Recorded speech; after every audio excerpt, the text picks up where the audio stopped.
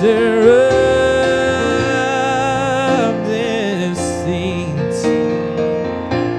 Oh, when groping in the darkness, on a years have passed, if he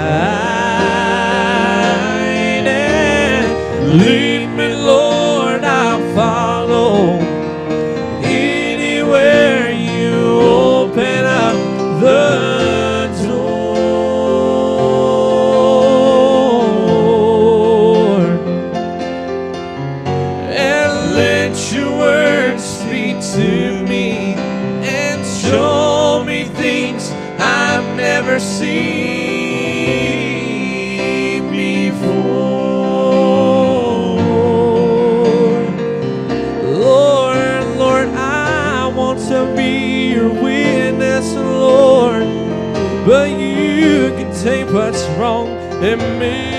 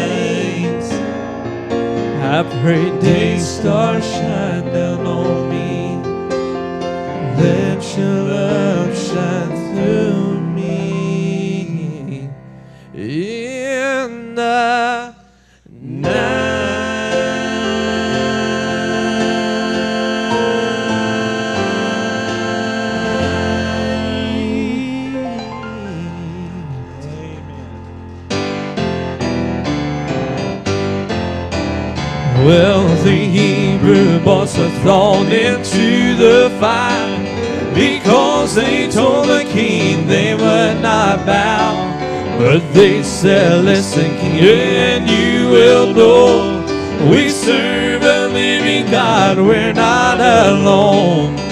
Well, and I know my God can do it to him, there's nothing to it. I know he'll see me through a sweet victory.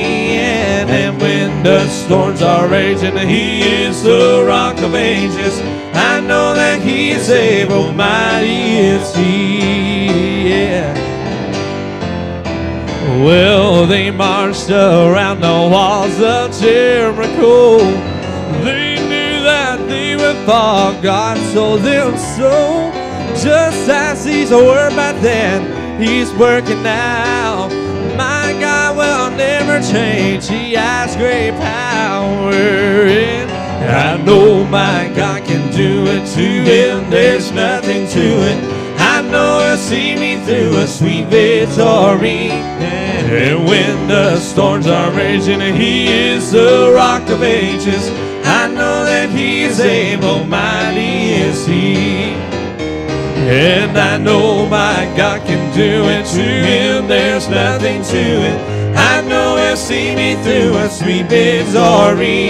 And then when the storms are raging, He is the rock of ages. He is able, mighty is He. I know that He's able, mighty is He.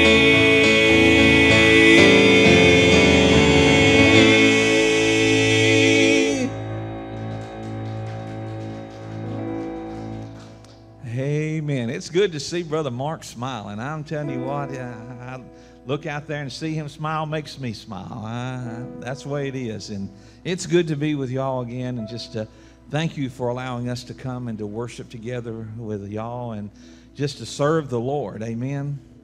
And uh, as you see, uh, since we've been here, uh, God has made a change in the ministry, uh, the Crusaders, and it's not that she's a stranger, but uh, she's was usually out there, and little did she know that God had a, a plan for her to be up here, and she is doing such a good job. Would you make Ashley Dossett welcome tonight?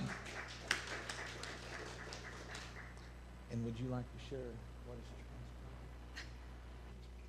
Yes. Well, no. We've been dating. We've been dating for three years, and May the 11th, which was on Dad's birthday, she thought we were going to celebrate Dad's birthday. Well, after we got done eating, they wanted to do something for Dad's birthday, so they got got a cheesecake, and I was like, well, I want to get a cheesecake too. Well, when they brought hers out, something shiny was on it. So May the 11th, I proposed to her. And, uh, so this is my fiance, Ashley. Amen. And so uh, it's, you know, after the end of this year, if, if they hold out that long, uh, we'll all be Talleys up here. On, and uh, so uh, she asked me, was we going to be the Talley Trio? I think that name's already took, but. but it's just good to, to worship and to serve the Lord. And so we're excited about what God is doing. We ought to be excited because He's coming back. He's coming back real soon, I believe, with all of my heart. And uh, the signs of the times are everywhere. But, you know, God is still so good. Amen. I believe that He is. And listen to the message of this song.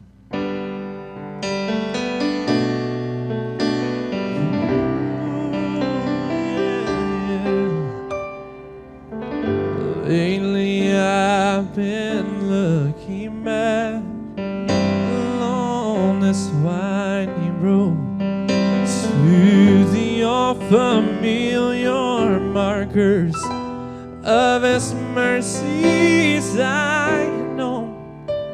I know it may sound simple, but it's more than a cliche.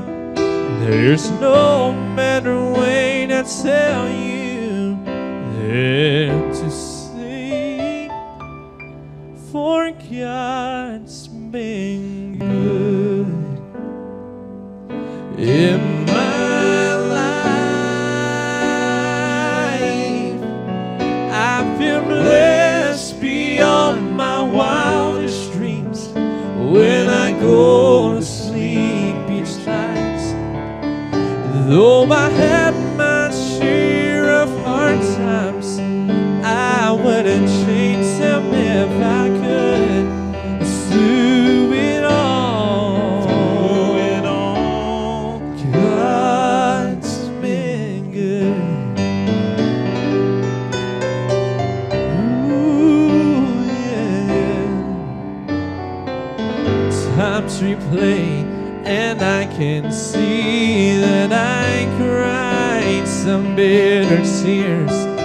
But I felt his arms around me as I faced my greatest fears.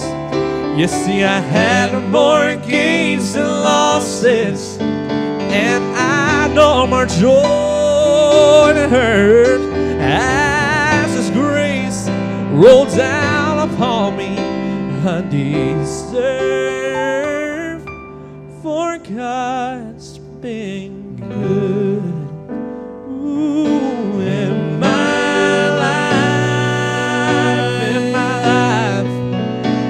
Been blessed beyond my wildest dreams. When I go to sleep each night, though I had my share of hard times, I wouldn't change them if I could.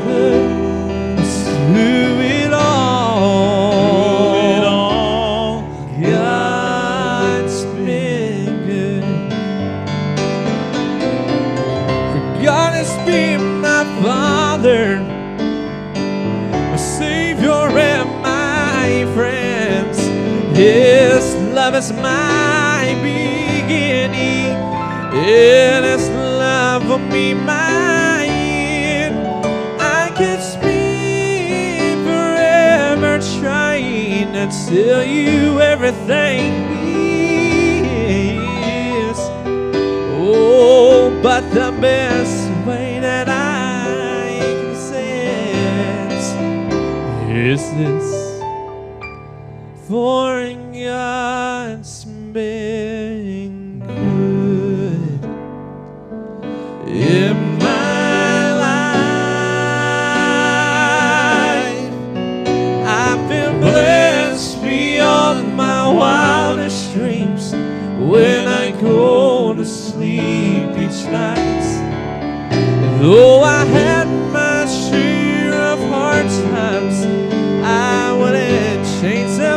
if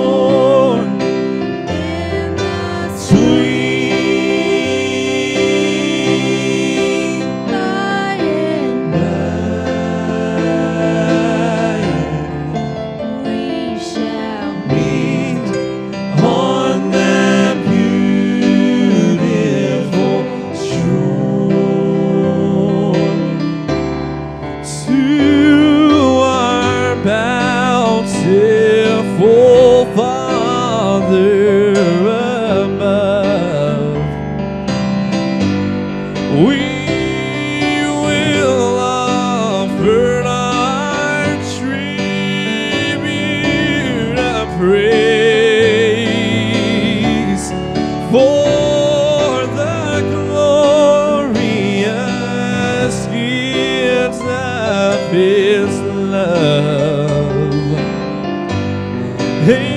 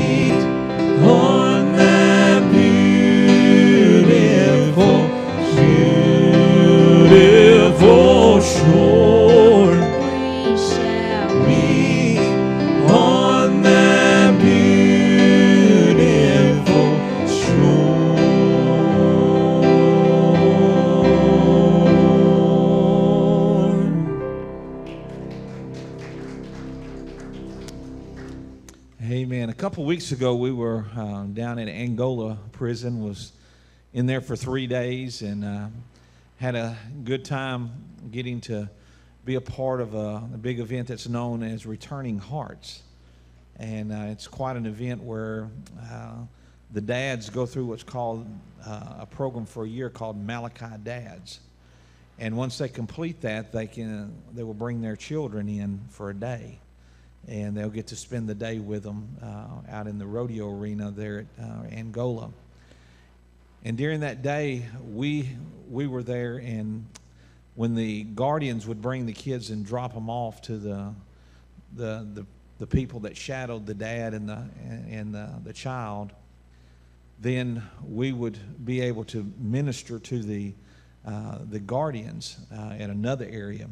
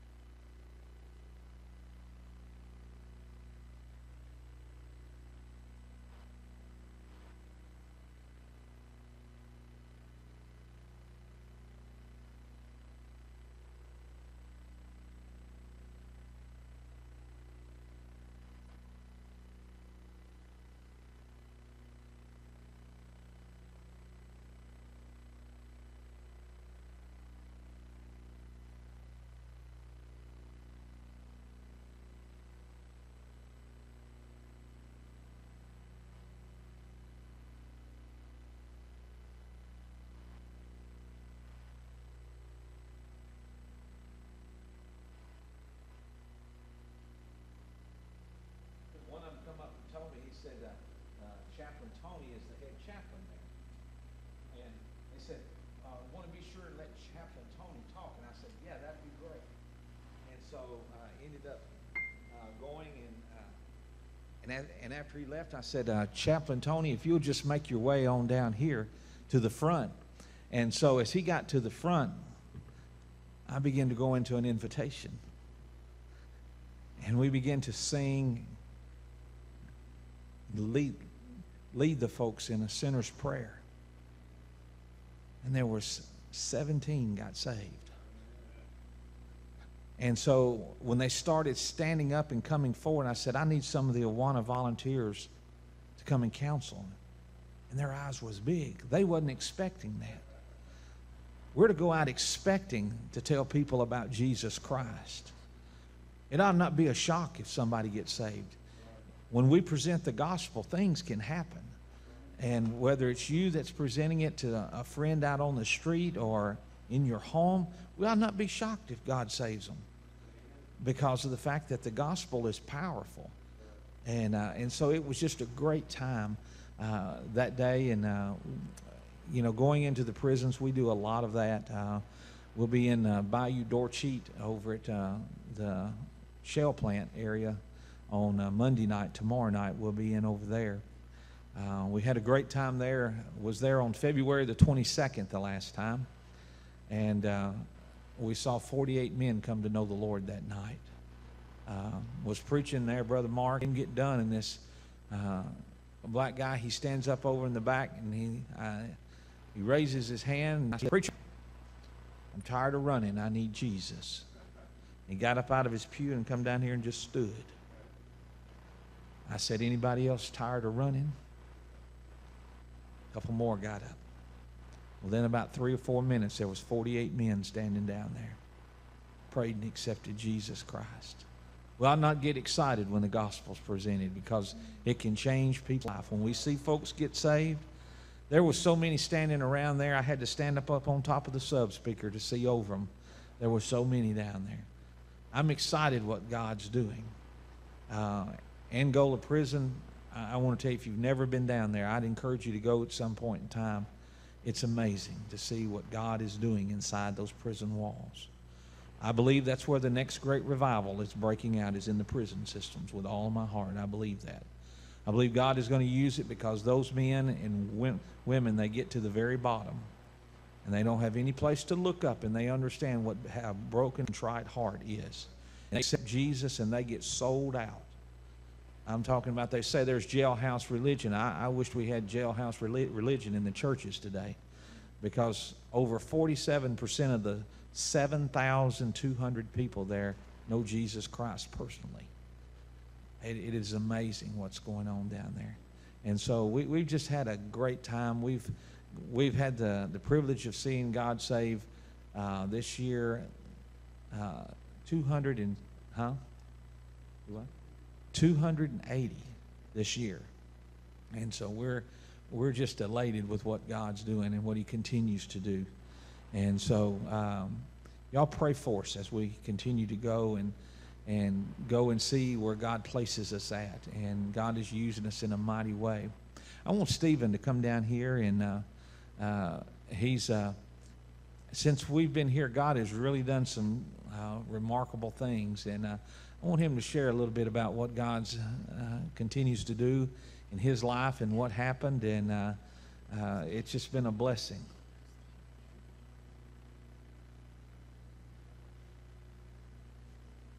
Um, I've been raised uh, my entire life by my grandparents, and they've had a big influence on my life. And on when I was nine years old, I walked down the aisle and got saved and everything. Well, thought I got saved. Let me rephrase that.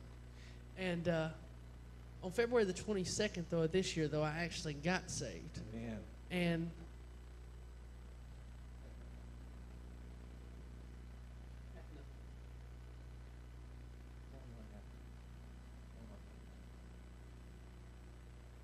well, everything was going as usual at the house, and Jonathan and Ashley were having some some problems.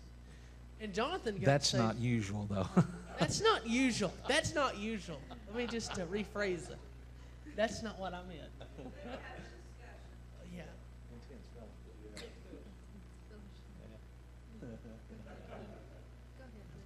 And uh,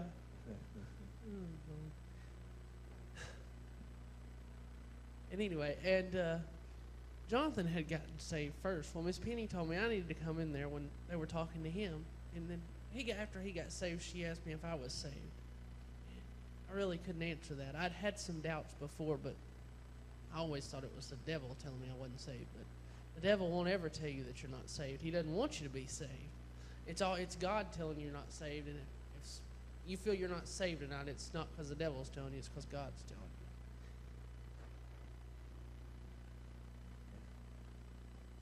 But on the, the 22nd, he, uh, after a lengthy time, and uh, he, he had, after I asked him, after Penney did, and I, and I looked at him, and I, you know, of course, the preacher kicked in at that point, and I said, So, Steven, if you die, where are you going to spend eternity? And he said, In hell.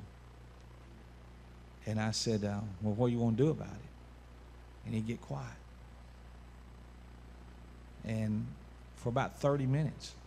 Hey, he's heard the Romans road pro- probably more than most folks hear it in a lifetime. He's heard the gospel presented hundreds of times. And I asked him, I said, what, what are you waiting on, Steven? I said, What's holding you back? He was worried about what folks would think. He was worried about because he'd worked in church all of his life since he was nine years old And he was worried about what those people would think. And so I told him, I said, don't be concerned about what they think. You get it right. You get it right. And he turned and he knelt down on the couch there and prayed and asked the Lord to save him. And I saw a changed man get up from there. And moments before that, this one had knelt on the other couch. And two years prior to that, that one over there knelt on the third couch. So there's three couches in our living room. If you've got some folks, we'll rent that room out to you real cheap. And uh, and so, you know, it's just been a, a remarkable time that we've had. But it's all because when you, as I shared with you, when you get start presenting the gospel, when you preach Jesus and Him crucified, things happen. And we've we've had some close calls on the bus, but I wasn't concerned at that time because I thought my house was saved. I thought my whole family was saved.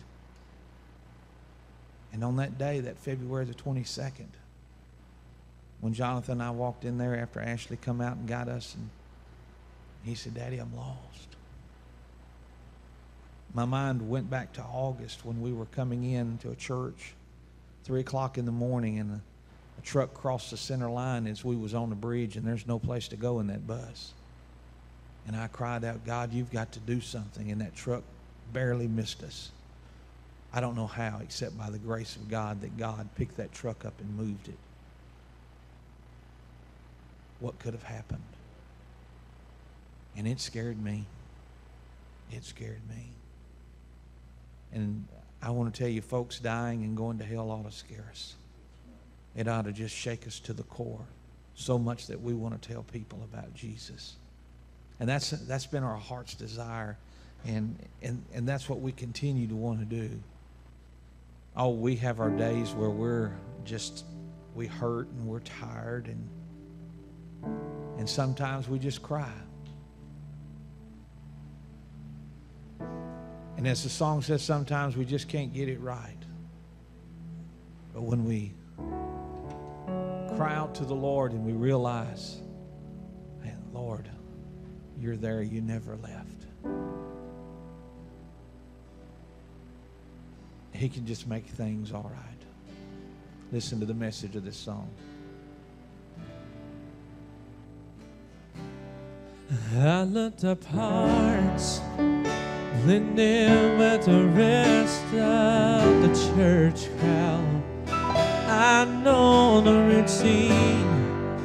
I can list all the Bible studies in town. Watch Christian TV. I know all the preachers, and their cliches. I've been born again. Without a doubt, I know I'm saved. But sometimes I hurt.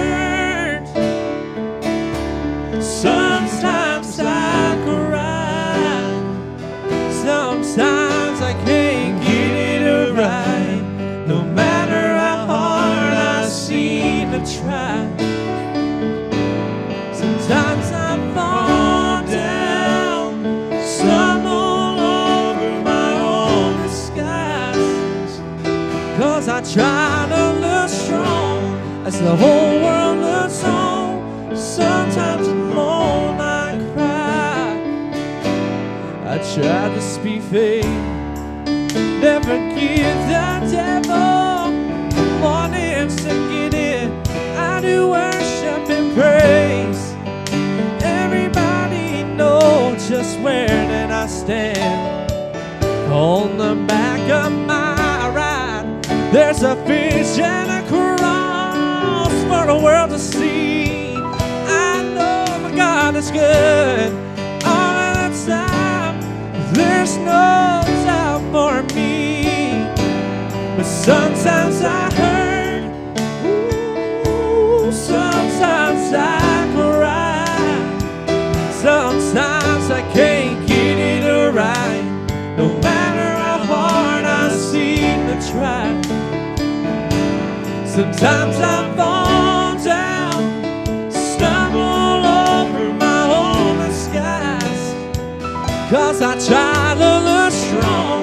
the whole world looks on. Sometimes alone I cry. Sometimes I fall down. Stumble over my own disguise. Cause I try to look strong as the whole world looks on. Sometimes alone I cry. I try to look strong as the whole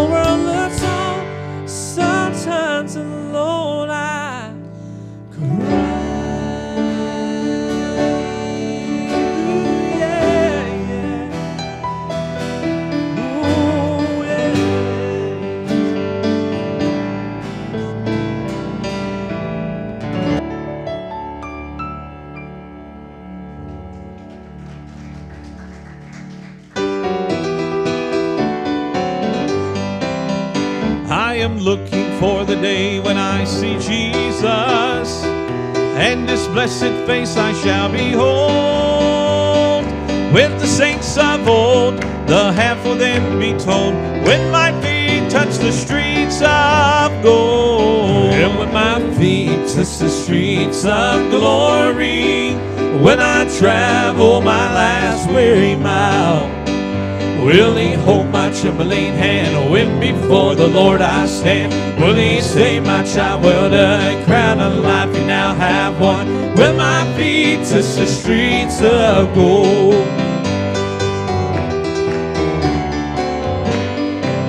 And if by chance some happy morning you should miss me, don't you weep for me because I'm gone.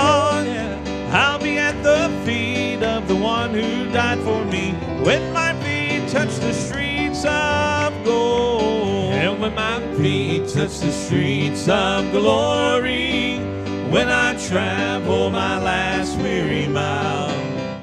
Will he hold my trembling hand when before the Lord I stand? Will he say, my child, well done, crown of life you now have won? When my feet touch the streets of gold, when my feet touch the streets of glory, when I travel my last weary mile.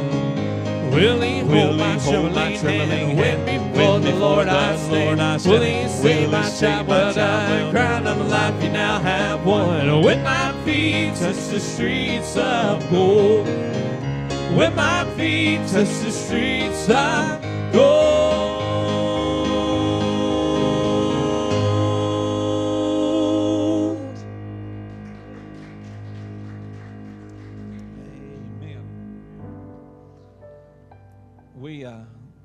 This week, as we were down in uh, at the church, there's a church called Cherry Grove Baptist Church, and um, uh, I've never seen such green pastures before. Uh, I mean, you know, I live up just south of Magnolia, Arkansas, and uh, there's hay meadows everywhere, but I don't know what it was down there. But as we drove through one day going over to a church camp, the fields were just green. I mean, this lush green. And I really began to realize only God can do that stuff right there. You know, and as we were making our way back up here this afternoon and we passed by all the cornfields, and there was one uh, field where they had just harvested the, uh, the wheat, and it was just bright gold out there. That's God. You know, sometimes I think we miss God in the small stuff. We look to see a miraculous miracle and say, oh, that's God. Well, it is God. But even in that pure green leaf that's on the tree, on that corn stalk, that's only God. There's no other way to explain it. Is He real to you? I mean, just, I want you to understand that how real He is. About a month and a half ago, we were in El Dorado, Arkansas, doing a revival. And I preached on Is God Real? And a couple of weeks after that, we were gone on a, a long trip, and Ashley had called John, Jonathan, and, and she began to give him these words. And as I began to hear what she had penned, I thought how true it is. We read the accounts in the Bible and we look at them and we say, oh, that was just then. But he's real, people. He is so real. Listen to this song. Is he real?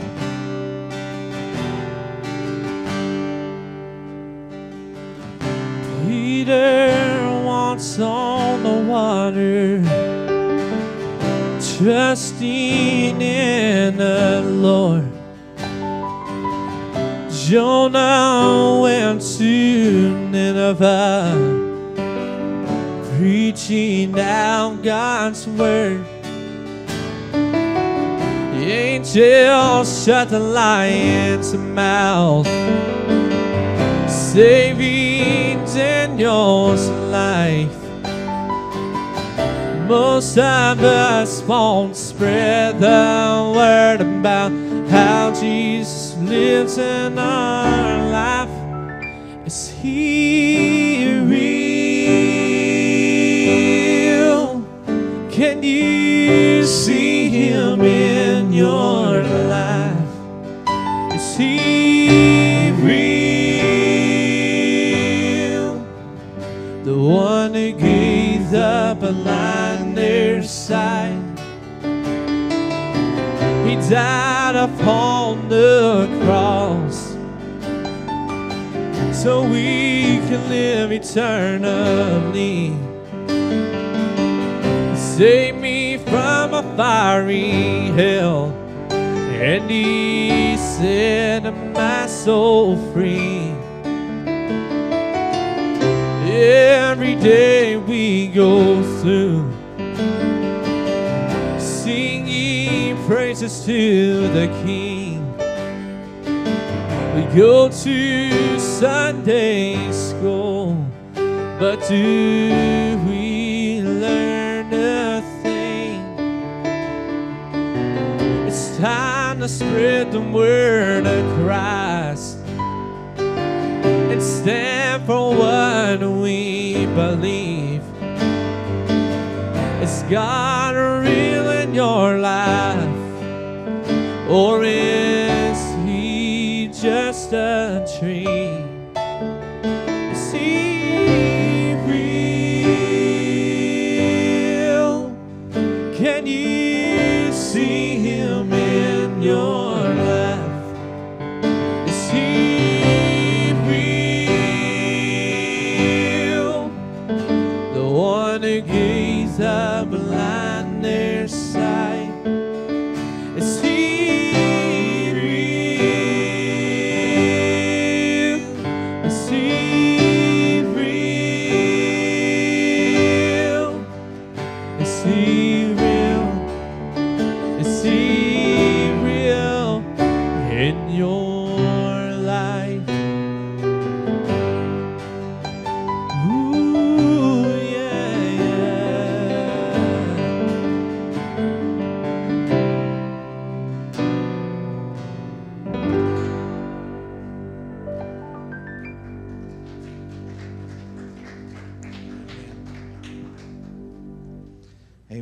pray that He's real in your life. Uh, you know the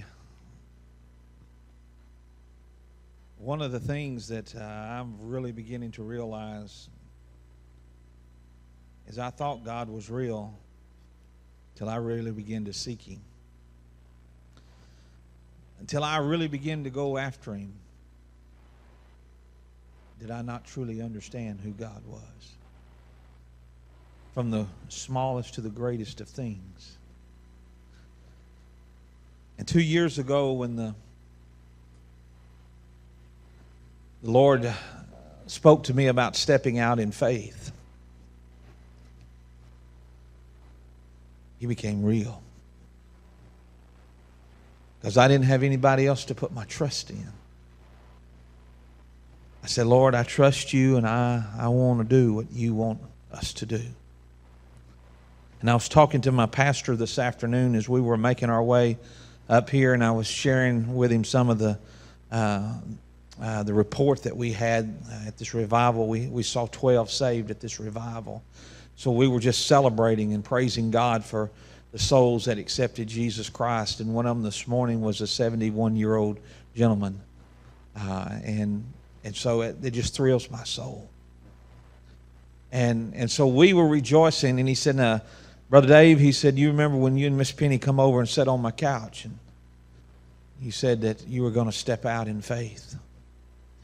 He said, Look at what God's done. Look at what God has done and how He's used you. See, you're no different than I am. He'll use you the same way if you just allow Him to. But one of the things that, that I wanted to talk to you tonight about was incomplete obedience. I had prepared this message in the middle of the week. And as Brother Mark would tell you, sometimes God changes the plan at the last minute. So I stuck it back in my Bible, and when I walked in the door, Brother Mark, he said, "You gonna preach tonight?" And I, am not gonna. I'm gonna be honest with you. I ain't gonna miss a chance to preach. I love to sing and I love to play, but there ain't nothing like preaching. When you open up God's Word and you break that open, man, there's nothing like it. I love the books First and Second Samuel. Uh, I, I love the to see what God did through so many things, but incomplete obedience.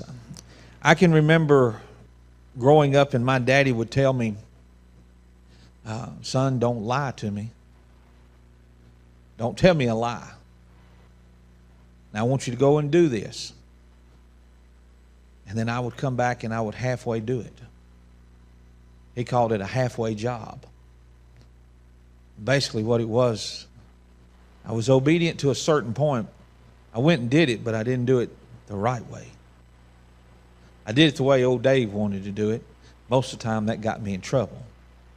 Most of the time, that got that little thin belt come slipping out of that pants and in a heartbeat and blistering my behind. But we find here King Saul we find out that he has given an assignment. Samuel comes to him. The Lord has uh, told Samuel what to tell Saul. And we find that Saul, he's, I think he's probably got his chest out at that point because the Lord wants me to do something for him. But he didn't follow through. So if you have your Bibles, turn to 1 Samuel chapter 15. Let's take a look at a few scriptures tonight and, and see what God's got for us in this.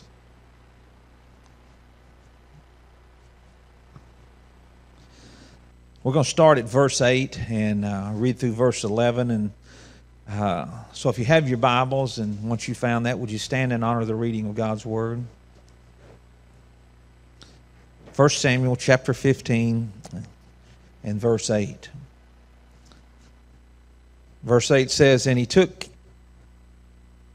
Agag, king of the Amalekites, alive, utterly destroyed all the people with the edge of the sword. But Saul and the people spared Agag, the best of the sheep, the oxen, the fatlings, the lamb, and all that was good, and were unwilling to utterly destroy them. But everything despised and worthless they utterly destroyed. Now the word of the Lord came to Samuel, saying, I greatly regret that I have set up Saul as king, for he has turned his back from following me and has not performed my commandments. And it grieved Samuel, and he cried out to the Lord all night. Let's pray. Heavenly Father, thank you for a time to come and to worship you. And Lord, we thank you for a time to come and to open your word. Now, Father, I pray that you'd be with us tonight. You would speak to us, and God, that you would open our, our hearts and our minds to hear from you. And Lord, I pray right now that you'd use me in any way you see fit. Lord, it brings you glory and brings you honor. Lord, I want to lift you up and raise you up high, hold the banner high that you're so worthy of. Have your way in this service. In Jesus' name, amen. You may be seated. We find out that Saul it was given a command by the Lord. We find over in verse 3 that he told him to go and he commanded him to go and utterly destroy everything from the animals all the way up to the men, everything. Nothing left because of what happened when the Israelites crossed through and the Amalekites attacked them. And so God told Samuel, and Samuel told Saul what to do. So we find out as Saul goes out, he's got the commandments, he's got the instructions, he knows what he's supposed to do, and he gets his army together and he begins to go out. And while they're out there taking care of business, he and the people decide to not follow the commands that the Lord gave. The first responsibility was Saul because he was king. I want you to understand that when God gives you a command, it's for you. It's for you to follow through exactly with what he's saying to do. It's not to halfway do it, to do it part of the way or the way that you think it is. It's the way he says to do it. And so we find that Saul here, he goes in and he takes the king alive. And then he sees all the nice animals out there. Well, those look really nice. And the people begin to say, hey, we could use those. And so they bring them back. We find that after all of this has happened, the Lord again speaks to Samuel. And he's greatly displeased. And we find that immediately the Lord is displeased with Saul because of the fact that he took and he didn't follow through. And so he regrets that he set him up as king that he anointed him to be king. A lot of times I think God is that way with us. You say, do you think that the Lord regrets saving us? No. I think he regrets that we don't follow through with what he tells us to do. See, because three years prior to me surrendering to the Lord and shutting down that business, the Lord had already spoke to me. But I was going to do it old Dave's way. I was going to try to continue on because I wanted that secure, to be safe, to feel secure that I was in control of what was going on. But what happens when we decide to take the control instead of giving it to God? We end up like Saul. We end up deciding to change the format. We end up deciding to, to, to move this line down just a little bit and move this over here to where it fits our itinerary. And all of a sudden we find that the Lord is displeased with us. And he said, Man, I wished I'd have gave that assignment to somebody else that would have followed through. With Samuel, he's pleading with the Lord all night. Samuel already knows what's fixing to happen. And my friend, when God takes his hand off of you, man, it's, it's not good. It's not good. What we find is as, as we go on along here, if we re, read on down a little bit, old, old Saul's pretty proud of himself. He's, he's feeling pretty good about the, uh, the spoils that they've brought back. He's feeling good about the battle. And verse 12 says So when uh, Samuel rose early in the morning to meet Saul, it was told Samuel saying, Saul went up to Carmel, and indeed he set up a monument for himself. Now, look, he's done got so excited. He's proud of what he did, and he's, he's done built him a monument out there so everybody will know who he is. That's just like us. We do something in, for the Lord, and even though we didn't follow through with it, of stick our chest out a little bit and say, serving the Lord. We didn't follow through. So we find us seeing his way up to meet Saul that day. Saul is so excited to see Samuel the prophet. And he's just babbling on about what happened in the war. And finally, Samuel says, Be quiet. And he begins to, to tell him what the Lord said. The Lord begins to rebuke Saul because he didn't follow through. And immediately we find that Saul begins to try to talk back. Samuel says, You need to listen. See, a lot of times in our lives, that's what we want to do. We want to, instead of accepting blame that we messed up, we want to try to throw it off on somebody else. Because you find that as you go on down a little bit further, you find out that, uh, O King Saul, he says, Well, the people made me do it. It's the people's fault, it's not mine. Who did God give the assignment to? He gave it to the king. King Saul had the assignment, but he didn't follow through. And so we find that as Saul, he's trying to reason with Samuel. And he says, Oh, he said, No, we, we did what, what the Lord wanted to do. And Samuel says, Well, what's that baying in the background I hear? See, there shouldn't have been any sheep, there shouldn't have been any oxen, there shouldn't have been anything because he was to utterly destroy everything. And Samuel begins to blame it off again. Well, it was the people's fault. They're the ones that wanted to bring it back. And we want to blame things off in our life. I've been there. I've been there. I've been the one that didn't follow through with what the Lord wanted me to do. And I wanted to blame it off on something else. Well, the sound system wasn't working right that night. That was the reason. Well, we was late because of the fact I was I was trying to talk to somebody. Wasn't about the Lord though. Every excuse in the world of not complete obedience. And so we find that Samuel, he begins to really, as Saul is, is trying to convince him that he, he did right, that he followed through, he did everything that he needed to do. But Saul doesn't listen, and Samuel begins to tell him this. And we find over in verse 22, he says, Samuel says, Has the Lord as great a delight in burnt offerings and sacrifice as in obeying the voice of the Lord? The Lord wants our obedience over sacrifices. He wants us to obey Him.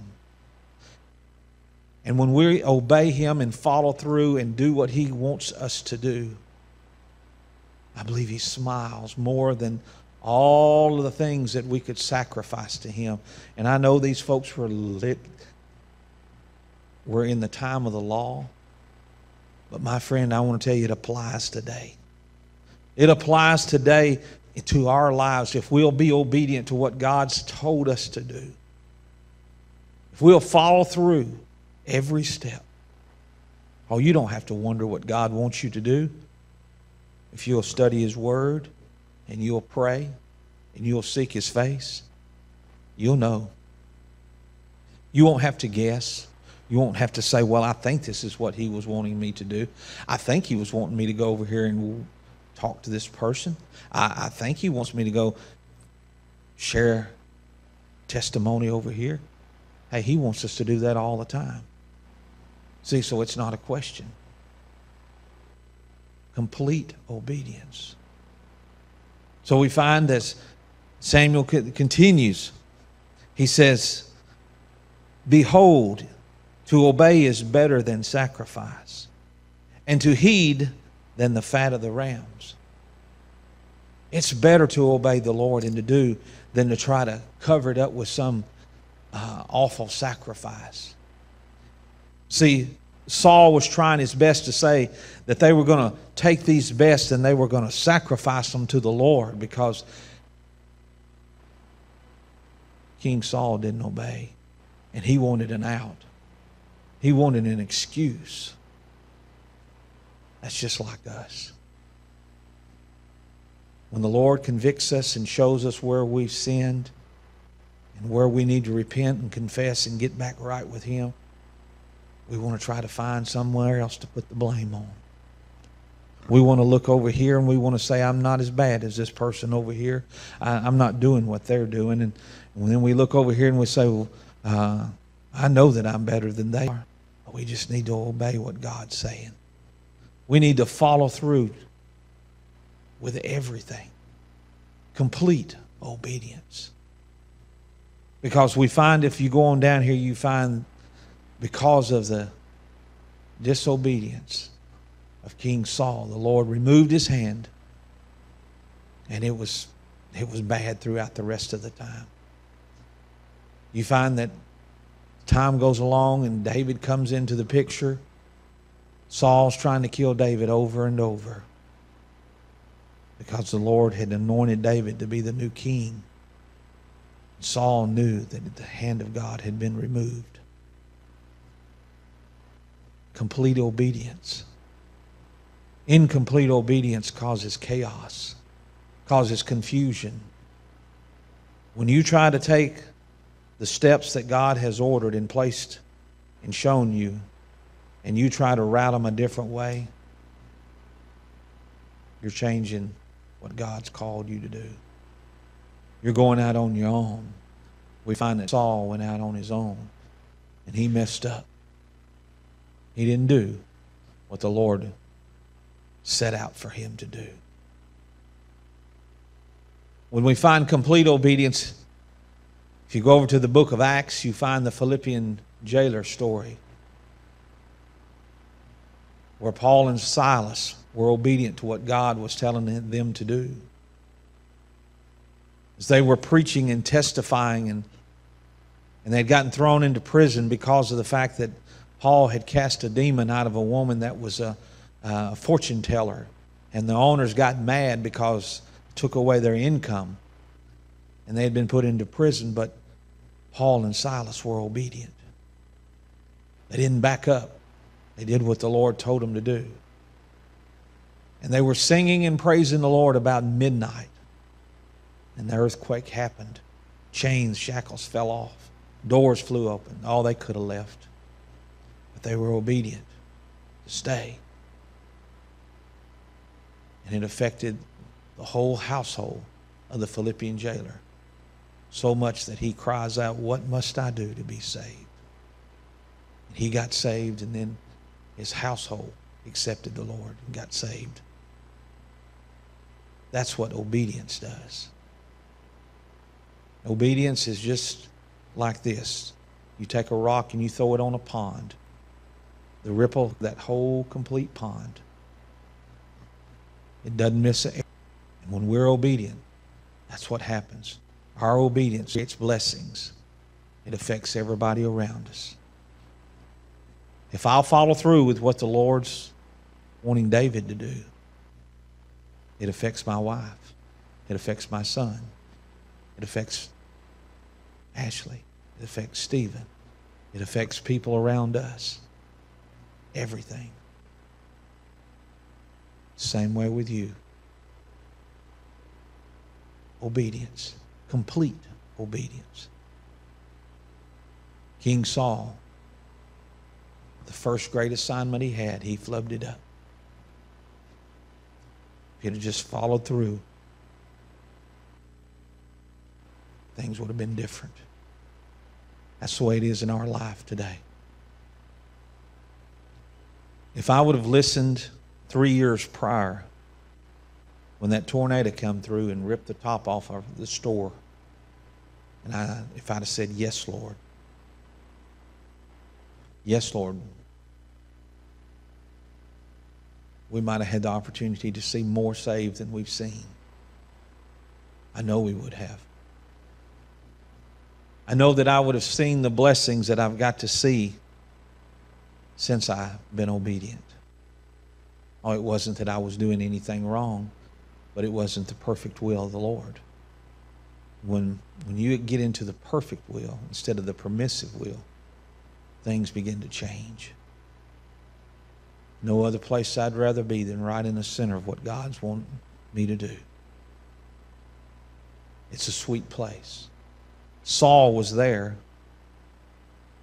He had clear instructions. He was of a good sound mind. He knew what the task was. He didn't even have to guess. But he went in and self began to jump out. I believe I'll take this back and I'll take this back and I'll take this back. And what happened? Sin entered into the camp and disrupted the camp. And by doing that, the Lord removed his hand off of Saul, took the anointing away. And chaos began to fill the kingdom from that point on.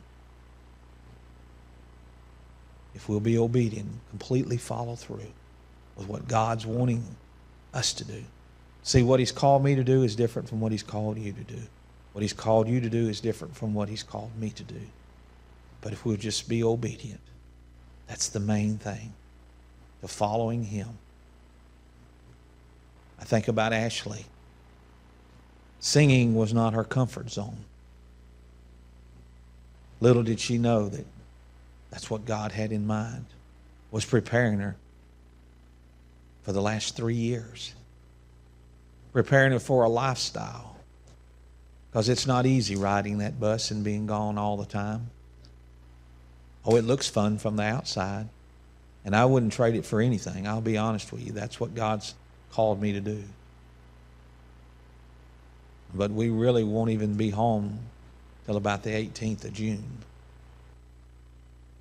And being home would just be what I'm talking about a couple of days, then back on it again. And I'm thankful for it. It's a beautiful piece of equipment. And it does what it's supposed to do. It gets us from point A to point B and a place to sleep. But she was being groomed. The Lord was placing her.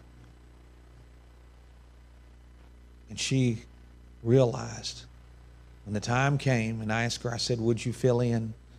And she stood up there, and I knew without a doubt. I said, You know that God's placed you here. First she said no, but then it was just a little bit. She come back and she said, Yeah. I believe he has. He'll use you. Oh, it may not be to get on the bus to go sing, but it may be just to pick up the phone and call somebody and say, Hey, he is on my heart. It might be to send them a text message and say, Hey, I'm praying for you today. I don't know what's going on in your life, but I'm praying for you. Hey, is there anything I can do for you? All of that is obedience. Then that obedience will create blessings. Tonight, if you're here and you've never met Jesus personally, Jesus died on a cross. He came as a babe in a manger, born of a virgin, grew up 100% man, 100% God. Felt everything that you and I will ever feel in a lifetime the pain, the agony, the, the bruises, the soreness. He worked, he was a carpenter by trade. Then it went so much further. As he began his ministry, began to preach repentance for the kingdom of God is at hand, he felt all of the anguish. He felt all of the people that talked bad about him. Then he felt it as he was beaten not once but twice. And then was crucified, died, and rose again on the third day. And now he's seated at the right hand of the Father in heaven interceding for you and I. And He loves you so much that He was willing to go through all of that. And He didn't even have to. But yet, that's the love that He has for us so that we could call upon His name, realize that we were lost and undone and needed a Savior, and cry out to Him and say, Lord, save me. Forgive me of my sins. And I believe exactly who you are. And he said he'll do just that. He said, For whosoever will may come. Tonight, if you've never accepted him, we give you that opportunity. It's not mine to give, by the way, it's the Lord's. But tonight would be a great time because the Bible says that today is the day of salvation. No other time but right now because we're not promised the next breath. Maybe if you're here and you've been dealing with some things that the Lord has placed upon your heart, or it might not be to, to go out into a traveling ministry, it might just be to follow through with what He's called or told you to do. Maybe there's some incomplete obedience that needs to be resolved tonight. Maybe there's some things that the Lord has just dealt with you about. I want us to do this. I want us to stand, Brother Mark, if you'd come to the front, and we want to have a time of invitation and and I just want to I want you to know that whatever God is dealing with you about, I pray that you'll be obedient with that and that you'll follow through and that you'll surrender all. And you'll do exactly what He wants you to do. And if you don't know Him as Lord and Savior of your life, Brother Mark would be honored to take his Bible and show you how to be saved, tell you how to be saved, and show you in the Scripture what it says of how to be saved. Whatever it is that the Lord is dealing with you tonight, would you surrender to Him? Heavenly Father, Lord, thank you for a time to worship you and thank you for a time to open your word. Now, Lord, I pray that you'd be with us in this invitation time and that we'd be obedient. And Lord, we wouldn't be by like old King Saul and not follow through, but we would follow through with what you want us to do. Have your way in this invitation time in Jesus' name. To Jesus I surrender. All to Him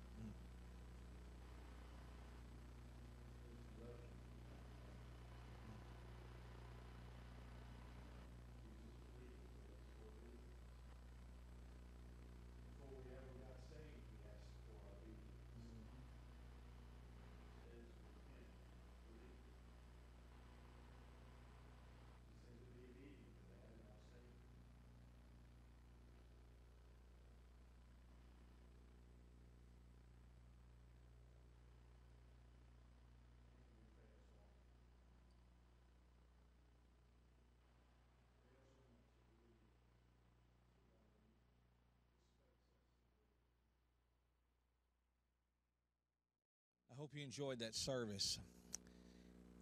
And if God spoke to you during that service and you've realized that you need a Savior and that you're lost and undone, and why don't you call out to the Lord? He's just waiting to hear from you. He already knows, and you know as well as anybody, if the Holy Spirit is drawing you. And right where you're at, you can call upon Him. See, God can hear a whisper all the way to heaven from right where you're at because He sees your heart. Why don't you ask Him to come in and be your Lord and Savior, to forgive you of your sins? He's waiting on you, but it's something that you have to do. If you've never asked Jesus to come into your heart, then you don't have a personal relationship. But that's what it takes. That's what it takes to know Jesus Christ is a personal relationship. So if that's you and you you would like to receive Jesus into your heart and start this relationship, I'd ask you to pray with me. but pray in faith, believing that He'll save you. And He says He'll do just that. So why don't you pray with me? Dear Lord Jesus, I know that I'm a sinner. And I know that you died for me. Lord Jesus, I believe that you died and you rose again, and right now you're in heaven. Lord Jesus, I'm lost and I need you to save me. Forgive me of my sins and come into my life and be my Lord and Savior. Thank you, Lord Jesus, for saving my soul. Now I want to live the rest of my life serving you. Amen. Now, if you prayed that prayer in faith and asked the Lord to save you, I want to be the first to tell you that you're saved and that you're on your way to heaven if you prayed that prayer in faith and believed and asked God. We'd like to hear from you. You can contact us at thecrusaders-ministries.com. You can find us on Facebook, send us a message, or give me a call, 870-904-3118. We'd like to find out where you're at and get you involved in a local church, try to help you start your walk with Jesus Christ in a positive way. But we're excited what God has done, and we look forward to hearing from you. And if you'd like to partner with the Crusaders, you can become uh, a seed partner by sowing a seed and meeting a need. We're a 501c3, we're a nonprofit organization.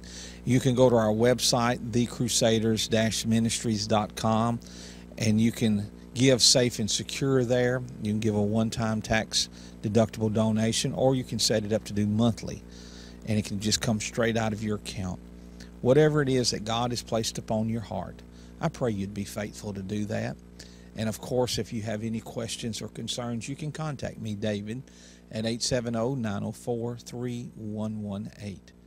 Thank you again for watching this service, and I pray it was a blessing to you. And God bless you.